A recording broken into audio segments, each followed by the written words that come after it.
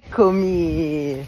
Allora, sono tornata a casa dopo un giorno Model di relax e dato che il tempo si è aperto, oggi è bellissimo qui, al mare. menawan.